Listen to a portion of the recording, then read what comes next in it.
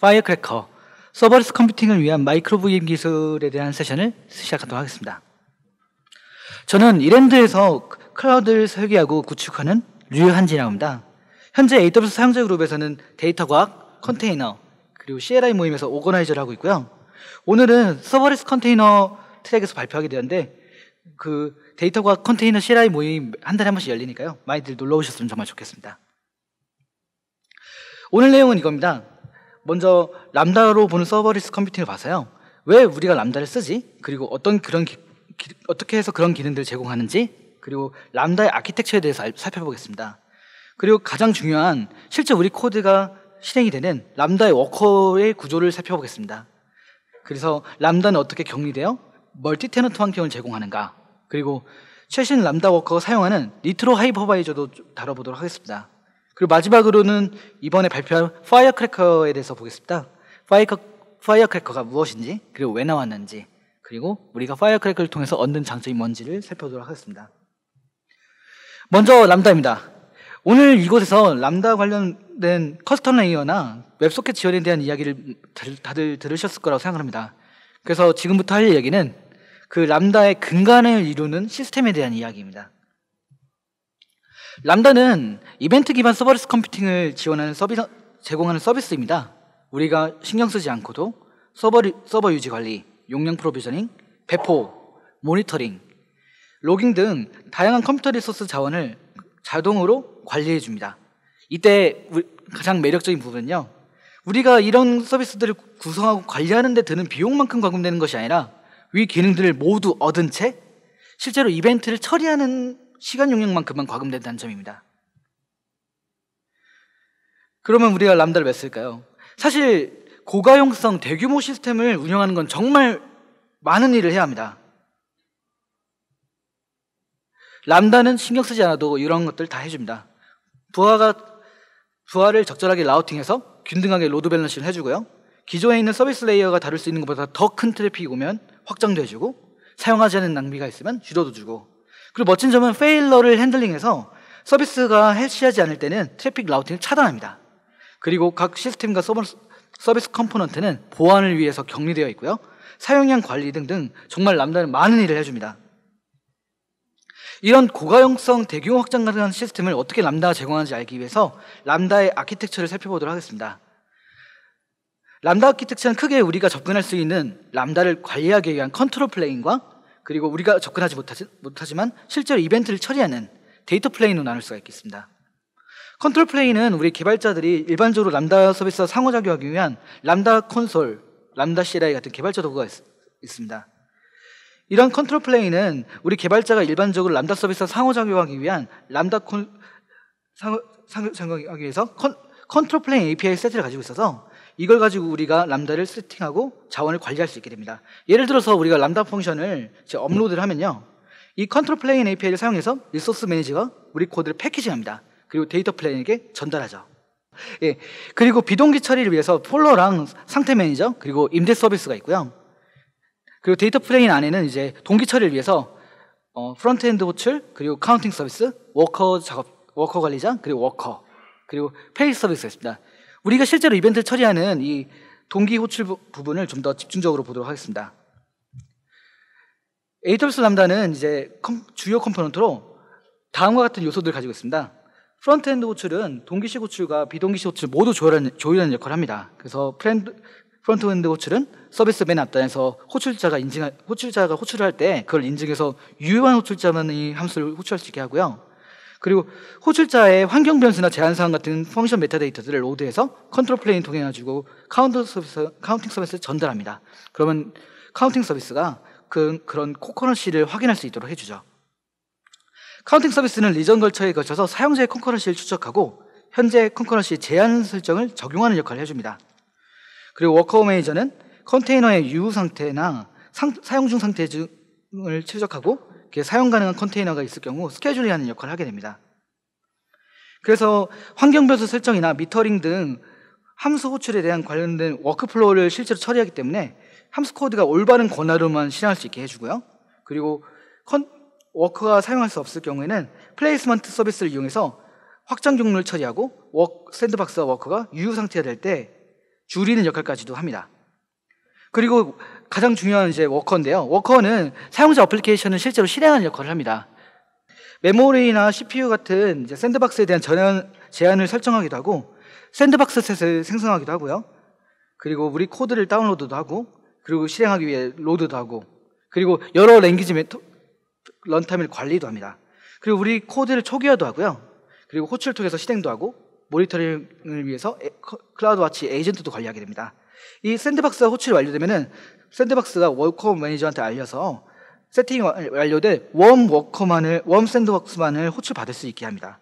그리고 아까 설명드렸지만 placement service, service는 사용자 검이나 cold path latency에 영향을 미치지 않으면서 패킹 밀도를 극대화하기 위해 worker worker를 sandbox에 배치하게 됩니다. 이때 worker의 health도 이 placement service가 모니터링하게 됩니다. 이제 이런 요소들을 이용해서 Lambda가 어떻게 이벤트를 처리하는지 살펴보도록 하겠습니다. 람다 사용자가 호출을 하게 되면 load balancing이 되어 frontend 호출이 받습니다. 이 호출이 유효한지 인증이 되면 placement frontend는 worker manager에게 sandbox를 예약을 합니다. 워커 매니저는 warm worker가 살아있는지 확인을 하고 없을 경우에는 placement service한테 worker를 배치하라고 요청을 합니다. worker가 배치가 되면 worker manager는 worker를 초기화하고 frontend가 warm worker를 호출하게 됩니다. 예. 그래서 Lambda가 정말 좋은 이유는 우리가 관리하지 않아도 이런 유연한 확장성을 주고 자동화된 가용성을 내장한다는 이야기입니다. 이 말은 우리가 유연한 확장성과 가용성을 얻기 위한 아키텍처를 설계하고 유지하기 위한 노력을 하지 않아도 된다는 이야기입니다. 음, 우리 코드는 worker가 실행하게 되는데 그 워커가 얼마나 효, 과적으로 작동하는지에 따라서 우리 Lambda의 성능을 결정하게 될 것입니다. 이런 중요한 worker에 대해서 좀 더 자세하게 살펴보도록 하겠습니다. Lambda는 이런 layer로 이루어져 있습니다. 우리의 코드, 그리고 람다에 내장된 자바나 노드.js, 파이썬 같은 자바 런타임, 그리고 함수별 격리를 위한 sandbox, 그리고 물리 서버를 나누어 사용할 수 있게 해주는 그 가상 환경을 제공하기 위한 hypervisor host OS, 그리고 마지막으로 물리 서버, 즉 하드웨어가 있습니다. 이 Lambda function은 실제로 동일한 하드웨어와 host에서 동시에 실행이 됩니다. 당연하지만 12MB짜리 물리 서버를 만드는 건 비용적으로 좋지가 않습니다. 그래서 Lambda function은 동시에 여러 Lambda function을 한 서버에서 실행을 합니다. 그러면 이제 가장 큰 문제는 특정 worker에서 실행 중인 다른 Lambda function을 어떻게 분리해야 될 것인가의 문제일 겁니다. 이 보안과 작업 격리를 위해서 워커는 한 서버를 여러 사용자가 사용할 수 있도록 guest OS를 계정당으로 분리하고요. sandbox를 이용해서 function을 나눕니다. sandbox 계층에는 컨테이너와 컨테이너의 권한을 부여하기 위한 것과 똑같은 기술이 있지만 실제로는 리눅스 컨테이너가 없다고 이야기합니다. 단지 Linux에서 일반적으로 알려진 Linux kernel의 toolbox를 사용해서 sandbox의 격리를 구현한다고 하는데요. cgroup은 각 프로세스의 CPU, 메모리, 디스크 throughput 등을 허용한 만큼 사용하도록 동작을 격리합니다. 그리고 namespace는 프로세스 아이디, user 아이디 같은 Linux kernel 자원들을 sandbox마다 각각 쓸 수 있게 해주고요. 그리고 seccomp 같은 경우에는 kernel을 위한 방화벽으로서 Lambda function이 실제로 실행할 필요가 없는 syscall을 부를 수 없도록 아, syscall만 부르도록 보안적으로 격리합니다. 마지막으로 iptables는 네트워크 격리를 제공하고요. 그리고 C루트는 루트를 접근하지 못하도록 파일 시스템을 파일 시스템을 숨기는 역할을 합니다. 그리고 이제 VM과 account 간의 격리인데요. 게스트 OS 레이어는 가상화 및 device emulation을 격리해서 device emulation 격리를 제공합니다. 람다 워커는 아마존 리눅스 게스트 OS로 사용하고 있다고 하는데요. 가상화와 device emulator는 서로 다른 사용자가 독립된 OS를 사용할 수 있도록 격리된 환경을 제공을 합니다. 그래서 이것이 현재 우리가 사용하고 있는 라, 람다 워커의 모습입니다. 현재 Lambda worker는 Nitro hypervisor를 사용하고 있는데요. Nitro는 2017년 re:Invent에서 발표된 기술입니다. 의도적으로 하드웨어 소프트웨어를 만들어서 최신 소프트웨어 네, 2017년 re:Invent에서 발표했고요. 실제로 개발은 2013년도에 했다고 이야기합니다. 그래서 최신 instance는 모두 Nitro고요. 하드웨어 소프트웨어를 의도적으로 만들어서 AWS를 위해서 hypervisor를 build했다고 이야기합니다. 니트로 하이퍼바이저는 KVM 기반 하이퍼바이저인데요. 그 머신 매니저를 커스터마이징해서 커스터마이징하고 유저 스페이스를 줄였습니다. 그 KVM은 여러분도 아시다시피 그 Linux가 기능으로 제공하는 그 KVM이 맞는데 우리가 일반적으로 알고 있는 기능들이 인 시스D나 systemd나 BusyBox들은 모두 다 없애고 실제로 instance가 사용하는 기능만을 남겼다고 합니다. 그래서 정말 리토는 리트로 하이퍼바이저는 빠르고 간드라, 간단하게 만들었다는 이야기를 합니다. 그래서 이것이 지금 현재 사용하고 있는 Lambda의 모습이라고 얘기했는데요. AWS는 여기서 좀더 worker를 효율적으로 쓰기 위해서 Firecracker라는 걸 사용하겠다고 이야기합니다. 이게 Firecracker 기술이 적용된 차세대 람다 워커의 모습인데요. 우리가 사용할 수 있는 베어미탈 EC2 인스턴스와 동일한 종류의 베어미탈 EC2 인스턴스를 사용해서 그 위에 Firecracker를 이용해서 엄청난 수의 micro VM을 만듭니다. 덕분에 하나의 VM에서 여러 Lambda function을 수행한 대신 하나의 VM은 이제 하나의 function만 쓰도록 단순할 수 있습니다. 그리고 이 micro VM을 여러 계정이 나눠서 사용하는 방식으로 하드웨어를 여러 사용자가 나눠서 동시에 사용할 수 있게 해줍니다. 그러면 이제 이것을 가능하게 해주는 Firecracker를 살펴볼 텐데요. Firecracker는 Linux KVM을 사용해서 micro VM 만들고 그것을 관리하는 VMM을 구현합니다. Firecracker는 user space에서 실행이 되는데요. 리눅스 커널 기반 가상화 시스템인 KVM을 사용해서 micro VM을 생성합니다. 각 micro VM은 빠른 시작 시간과 낮은 메모리 overhead를 가지고 수천 개의 micro VM을 동일한 시스템에 packing할 수 있게 해줍니다. Firecracker는 일반적인 게스트 호스트를 hosting할 수 있는 VM인 QEMU의 대안이라고 할 수 있습니다. 우리는 RESTful API를 제공해서 아, 제공받아서 vCPU를 구성하거나 시스템을 시작해서 Firecracker 프로세스를 제어할 수도 있습니다. 제어할 수 있습니다.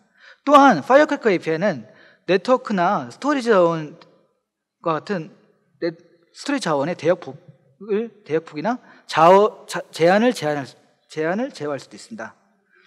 그리고 Firecracker는 보안적으로도 안전하게 호스트와 게스트 OS 간 설정 정보를 공유할 수 있는 meta 서비스 서비스도 제공을 합니다. Firecracker는 Linux 4.1 또는 최신 커널부터 지원을 한다고 합니다. Firecracker는 jailer binary, jailer binary를 통해서만 시작이 되는데요. 프로세스를 시작한 후에는 사용자는 instance start 명령을 실행하기 전에 Firecracker API를 상호작용해서 micro VM을 구성을 합니다. 파이어크래커는 게스트 OS의 최소한의 필수적인 device 모델만을 제공하는데요. virtio virtio net이나 virtio block 그리고 serial 콘솔 그리고 micro VM을 중지하는 데만 사용되는 one-button 키보드 컨트롤러 이렇게 총 4개의 device 모델만 emulating 합니다. 이것은 정말 능률적인 커널 로딩 프로세서와 함께 150ms 이하의 시동 시간과 감소된 메모리 프린트 메모리 footprint를 가능케 합니다. Firecracker 프로세스는 하나의 micro VM만 encapsulation 합니다. 이 프로세스는 API, VMM, 그리고 vCPU와 같은 thread를 실행을 하는데요. API 스레드는 파이어크래커의 API 서버 및 관련 control plane을 담당합니다. 다른 경로는 절대 존재하지 않, 습니다 VMM thread는 컴, 컴퓨터 모델, 최소한의 legacy device 모델, 그리고 micro VM, micro VM 메타데이터 서비스와 I/O 속도 제한 기능을 갖춘 갖추어 갖춘 virtio device가 emulate된 net과 블록 장치를 제공을 합니다. 또한 하나 이상의 vCPU thread가 주어집니다. 이것들을 통, 이것들은 모두 KVM을 통해서 생성이 되고 KVM run main loop에 실행이 됩니다. 이들은 device 모델에서 동기 I/O 및 메모리 mapping을 연산을 실행합니다. 이 thread들은 그리고 보안을 위해서 신뢰할 수 있는 영역을 jailer와 가상화 장벽 통해서 분리가 되어 있습니다. 이를 통해서 Firecracker는 다음의 결과를 가져옵니다. 먼저 보안적으로는 최소한의 device 모델만 사용해서 메모리 footprint를 줄이고 공격받을 수 있는 영역을 줄입니다. 그리고 Firecracker는 속도를 위해서 디자인되어 있어서 user space 코드가 125ms 이하에서 수행, 바로 수행될 수 있도록 설계되어 있고요.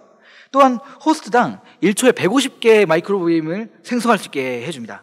또한 적은 메모리 overhead로 서버에 수천 개의 수천 개의 높은 밀도의 micro VM을 사용할 수 있어서 scale과 효율적인 scale과 매우 효율적인 효과를 가져옵니다. 이런 기능을 제공하는 Firecracker는 현재 오픈소스로 공개되어 있습니다. 어, 현재 GitHub에 올라와 있고 누구나 사용하고 누구나 기여할 수 있습니다. 그래서 Lambda나 Fargate를 위한 serverless를 위해서 만들어져 있고요. Rust로 작성되어 있고요. 물론 시작 단계여서 좀 해야 될 건 많습니다. 좋은 소식은 어제 Kata 컨테이너 통합을 발표를 했어요. 그래서 이제 Kata 컨테이너와 통합이 된다고 얘기를 하고요. 그럼 이제 우리 user 입장에서 serverless 컴퓨팅에서 Firecracker를 이용하면 무엇이 좋을까에 대해서 이야기를 해보겠습니다. 먼저 VM 레벨의 격리가 효율적이게 됩니다. 한 호스트에 수백 명이 수많은 micro VM을 돌리지만 이 안에 수많은 하드웨어, 하드웨어나 수마, 수천 개, 수만 개의 네트워크 카드가 있, 있지는 않습니다. 하지만 각 microVM에는 각각의 네트워크 카드와 하드 드라이버를 볼 수 있습니다. 이것은 가상화의 대단함과 하이퍼바이저와 게스트 OS 간의 약간의 협력으로 작동을 하는데요. Virtio, Virt IO라고 불리는 프로토콜을 사용해서 게스트 커널 내 드라이버를 끌어당겨 블록 장치를 구현하고 구현을 합니다. 그리고 이건 매우 효율적이고 간단하고 안전한 방식으로 네트워크 카드를 구현할 수 있습니다. 가상화 성능에서 가장 중요한 거는 게스트 OS가 게스트 OS와 게스트와 호스트 운영 체제 간에 전환을 하는 횟수를 줄이는 것인데요. 게스트 OS가 바이트를 쓰려면 직접 인터페이스에 접근해서 네트워크 패킷을 보내는다고 보통 생각을 하잖아요. 그 대신 Firecracker는 앱과 데이터를 메모리에 구축을 한 다음 하이퍼바이저에게 알립니다. 하이퍼바이저는 작업이 필요한 패킷을 하드웨어한테 전달하고요. 이런 device emulating을 완전하게 제한적인 sandbox 안에서만 실행을 해서 에뮬레이터에 대한 추가적인 보안 계층을 제공을 합니다. 그리고 Firecracker를 사용하면 서버를 항상 바쁘게 돌릴 수 있습니다. 예. 사실 우리는 높은 사용에 관심이 없습니다. 우리는 사실 오직 사용한 만큼만 지불을 합니다. 하지만 Lambda를 운영하는 입장에서는 서버가 항상 일하도록 돌리는 것이 중요합니다. 일반적인 종류의 load balance 분, 아, 일반적인 종류의 분산 시스템의 접근 방식은 서버들이 load balance를 수행해서 어느 정도 부하가 걸리면 가능한 한 균등한 서버의 서버 전체를 퍼뜨리려고 하는 것입니다. 그 이유는 저희 우리가 CPU나 메모리 같은 병목 현상이 있고 이런 병목 현상이 얼마나 많은 컴퓨터가 문제 병목이 있는지 알아내기가 정말 어렵기 때문입니다. 또한 네트워크나 메모, 메모리 버스 병목 파악은 더더욱 어렵습니다. 그래서 사람들이 실제로 하는 일은 매우 보수적으로 자동 크기 조절 목표로 CPU 사용량 같은 걸 잡아서 일정 수준에 도달할 경우에는 proxy 등을 사용해서 실부하를 load balancing 하려고 하는데요. 이거는 매우 시간을 많이 차지하는 패턴으로 효율적이지 않습니다. Lambda는 의도적으로 가능한 가, 장 적은 수의 sandbox를 사용하려고 노력을 하고 있습니다. 그래서 가장 적은 수의 sandbox에게 부하를 집중시키고 있는데요. 적은 수의 sandbox가 항상 바쁘게 유지된다는 것은 cache locality가 좋습니다. 또한 auto scaling 능력에 좋은데요. 하나의 work, 하나의 workload를 한 서버에 모두 packing하는 건 좋지가 않습니다. sandbox가 실행하는 하나의 호출만 있으므로 sandbox는 매우 바이러니하게 실행이 되거나 실행이 되지 않, 않습니다. 따라서 동일한 작업 부하의 여러 복사본 대신 다양한 workload를 집합을 가져와야 됩니다. 이렇게 하면은 작업 부하가 좀 더 효율적으로 작동을 합니다. packing은 이렇게 packing을 하면은 peak치는 이제 평균치를 가져오고 규모를 더 예측하기 좋아집니다. 그래서 이건 예시 장표인데요. workload를 더 많, 짧게 쪼개서 더 많은 수로 수행할 경우 우리가 더 규모를 예측하기 쉽다는 이야기입니다. 그래서 더 많이 packing, 더 많은 workload packing하고 더 경합을 최소화하면 배치 최적화를 이룰 수가 있습니다. 그리고 Firecracker는 경량화를 통해서 더 빠르고 더 쉽게 이용할 수 있게 해주는데요. 먼저 좋은 소식은 VPC cold start latency가 개선이 된다고 얘기합니다. 우리가 VPC가 람, 람다가 VPC 내에서 작동하는 방식에 대해서 이야기를 해보자면요. 람다가 VPC에 생성이 될 때는 람다가 VPC 내 펑션을 만들고 호출될 때 ENI를 만들어서 워커에 붙입니다. 이때 이, 우리가 EC2에 사용하는 그 네트워크 인터페이스랑 동일한 거고요. 그것이 생성될 때마다 이제 VPC가 제공되는 기능들을 모두 제공하는 건 정말 좋은 거지만 콜드 스타트, VPC 콜드 스타트가 생긴다는 건 정말 큰 단점입니다. 그래서 2019년에는 이 ENI를 생성하는 방식을 바꾸려고 하고 있습니다. 워커에서 ENI를 사용하는 대신에 기존의 그 remote NAT를 사용해가지고 worker의 Lambda function과 ENI 사이의 내부 NAT를 사용하던 것을 remote NAT가 사용하도록 하고 있습니다. 그래서 Lambda function에서는 원격 어, remote NAT로 더 안전하게 tunneling 합니다. 이것이 실제로 의미가 있는 것은 여러 가지 다른 워커 간의 ENI를 서로 공유할 수 있게 해줍니다. 그리고 ENI가 훨씬 적기 때문에 VPC 대기 시간을 줄일 수도 있습니다. Lambda function이 필요한 수, 필요, Lambda function만큼 IP가 있다는 것은 얼마나 IP가 필요하다는 걸 예측하기 너무 어렵습니다. 하지만 이렇게 ENI가 VPC 레벨로 생기면은 각 subnet마다 최소 한 개 이상만의 IP가 필요하기 때문에 훨씬 더 작업이 간단합니다. 그래서 Firecracker는 빠른 scaling과 적어진 latency 그리고 IP를 관리할 수 없는 쉬운 이용을 제공하게 됩니다. 이제 결론인데요. Firecracker는 다른 유사한 가상화 솔루션보다 훨씬 더 빠른 시작 시간을 제공하고요. 그리고 메모리 overhead가 낮아서 좋은 성능을 제공을 합니다. 유연성이 뛰어나고요. 그래서 이런 것들이 얼른 빨리 Lambda에 적용이 되었으면 정말 좋겠네요. 그래서 Firecracker는 높은 사용률과 scaling을 제공을 하는데요. 오늘 우리가 Lambda가 호출하는 frontend 구성 요소와 배치 그리고 워커에 대해서 이야기를 나누고 Lambda의 보안 격리와 사용 그리고 어떻게 사용하는지 packing에 대해서 어떻게 생각하는지 이런 거에 대해서 이야기를 나눴습니다. Lambda에 대한 정말 대단한 점은 이 모든 걸 알지 않아도 사용할 수 있다는 것입니다. 그래서 오늘 정말 제 세션 정말 즐겁게 들어주셔서 정말 감사하고요. serverless computing은 이 모든 걸 잊어버리고 비즈니스 로직에 집중해서 코딩에 집중하시면 됩니다. 네, 들어주셔서 감사합니다.